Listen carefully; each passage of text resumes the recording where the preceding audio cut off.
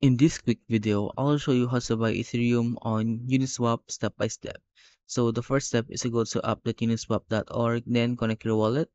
Once you have connected your wallet, make sure that you're using Ethereum network and you can see it here. And then click here, select USDT or any stablecoin or any token you want to swap, for example, USDT.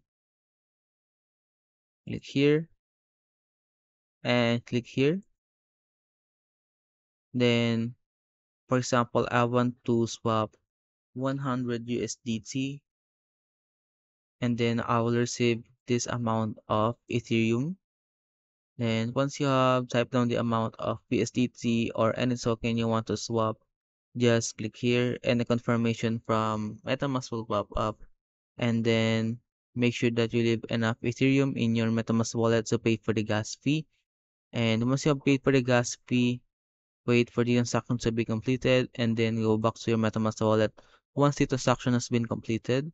And then scroll down, and you will see it here on the MetaMask wallet, the Ethereum token. Just click here. And if you have any questions about how to buy Ethereum on Uniswap, leave a comment below.